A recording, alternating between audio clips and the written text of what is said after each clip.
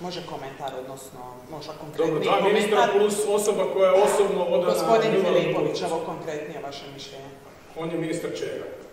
Energetike i gospodarstva. Gledajte, nemam komentara. Kako? Mislim, nadam se da do- DORH neće imati radni vikend sad opet da provjeravaju. Nadam se da to nije još jedan takav. Ovo je njemu prilog. A to neka ne zna čirilicu, ne?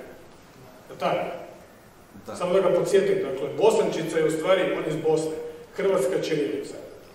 Dakle, neke od najznamenitijih listina, recimo poljska listina, hvalozbornik su pisane na hrvatskoj čirilici, ne srpskoj.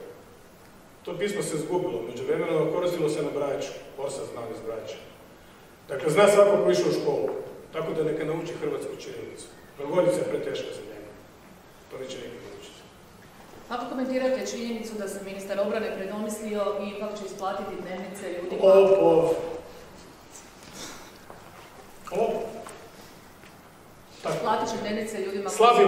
To je frajer koji je nekada u Saboru govorio o, kako je rekao, o dugoročnim profesoričkim anketama. Je li taj novac trebalo pronaći ranije, jesu li taj novac trebalo... Kako mislite pronaći novac? To novac postoji u proračunu.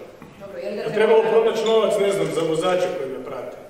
Evo sad sam rekao sindikalcima, dečki, nikakav problem. Ne radi se to o milionima, miliona eura. Radi se o nekom novcu, pa ja, uvijek mogu naći, ako me se natjera na to.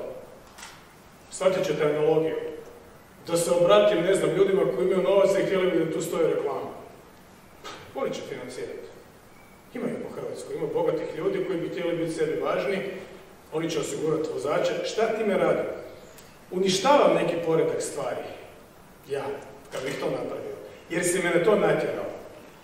Analogija. Što su napravili Hrvatskoj sa Bosnom i Hercegovinom? Natjerali su nas da se ponašamo na način na koji nisam baš najponosniji. Nemam ništa protiv Finske. Mogu postaviti puno principijalnih pitanja. Šta to znači funkcionalna demokracija? Ili ona korisna u ratu? NATO je vojni savez. To nije Caritas. To nije filanturističko društvo. Ili država ljudi koji su razmaženi, bogati, korisna u ratu. Šta će mi funkcionalna demokracija u NATO? Pa više mi vredi Turska. Koja nije demokracija? Kako su to gluposti? Mislim, ljudi cijeli život to rade. Nagledao sam se toga i prepoznajem dobre, loše i zle, naivne i nekompetentne kakvih ima previše u američkoj administraciji i e, muljatore kakvih ima u Londonu. Žao mi je, ne bore se Englezi sad tamo.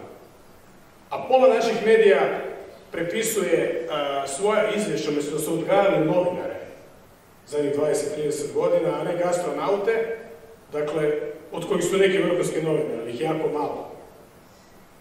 Oni prepisuju iz ekstremističkih, desničarskih, konzervativnih, britanskih tabloida. To su oni zlodusi koji su Englesku izgurali iz Europske unije, nažalost. To je hrvatsko novinarstvo. Daily Telegraph je referenca i britansko ministarstvo obrane. To mi vjerujem isto kao rusko ministarstvo obrane.